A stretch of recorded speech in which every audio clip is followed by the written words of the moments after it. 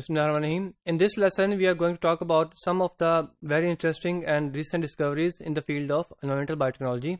There are so many discoveries going on almost every day. However, in this lesson, we are going to talk about only very uh, special, very different discoveries regarding the environmental issues.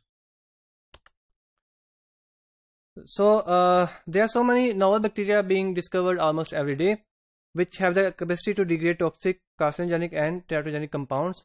Uh, however, uh, there are certain compounds which are more resistant to uh, degradation and the bacteria which have such abilities are more are of more concern. Now so for example bacteria against polycyclic aromatic hydrocarbons uh, those have been isolated from different environments and uh, those are very important uh, if you want to remove these PAH from the environment. These polycyclic aromatic hydrocarbons are basically cyclic hydrocarbons and these are much resistant to degradation. So uh, there are so many different pathways that are utilized in bacteria to degrade such uh, resistant hydrocarbons and a complex system of pathways exists in these bacteria.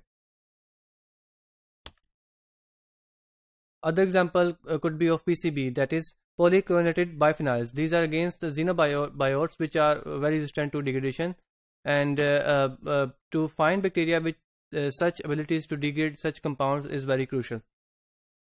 As we can see here, they are having high level of halogenation, uh, high level of uh, chlorine. Uh, we all know that uh, high level of chlorine and other halogens is toxic to life.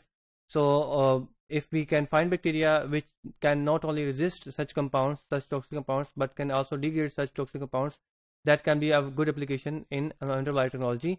much research is being going on in this field. Now, uh, uh, there is something special with PCB as with some other compounds as well. These are substrates for very few pathways normally occurring in nature. Normally, uh, the compounds, the toxic compounds which are resistant to degradation, those are mostly the compounds which are not normal substrates for natural processes.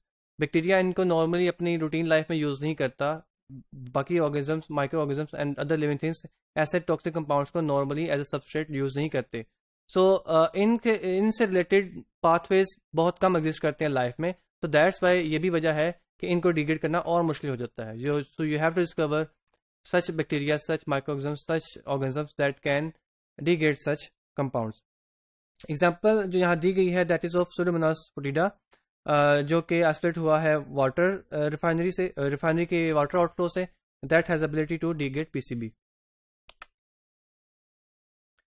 PCB को destroy करने के लिए bacteria different pathways use करता है। उसमें से दो हो सकते हैं। एक है टीओडी पाथवे जो कि टोलविन की डिग्रेडेशन के लिए भी यूज़ किया जाता है। You can see here as we discuss before as well many compound which mimic other compound structurally can be destroyed can be degraded by the same metabolic pathways present in the bacteria so bacteria can use the already present pathways which it is utilising to degrade some compounds Uh, to get, degrade other compounds as well. The other pathway used is CMT pathway, which is responsible for catabolism of p-cumate. So you can see here, basically ये pathways uh, these are not meant to uh, destroy this compound. These are meant for other purposes, but they are still being used for this purpose. The mutation which allowed this strain to utilize the CMT pathway was found to be a single base change to the promoter operator sequence. Uh, you can see here that uh, a mutation, mutation is involved and that mutation is happening uh, in promoter operator uh, region. Uh, promoter is the site where RNA polymerase bind and starts the transcription of a gene and operator are the sites where repressor proteins bind and they block the transcription of the gene.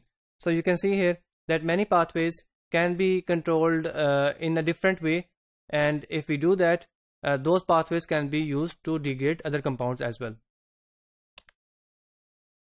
Now phthalates, uh, these are the compounds again uh, ring structure compounds and these are substituted single ring phenols. There are so many examples. These are the major chemicals used in the manufacturing of polyester fibers, films, adhesive coatings and plastic bottles as well. Phthalates are also resistant to degradation and these are much toxic compounds as well.